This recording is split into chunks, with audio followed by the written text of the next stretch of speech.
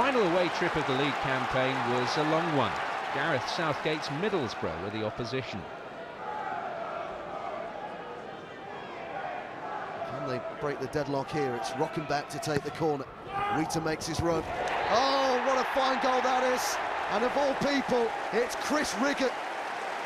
Recalled from a loan spell at Stoke only yesterday. Boateng to Rochemback. Returns the favour.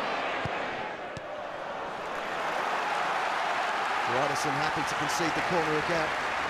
Bit of a period of inserted pressure here from Middlesbrough.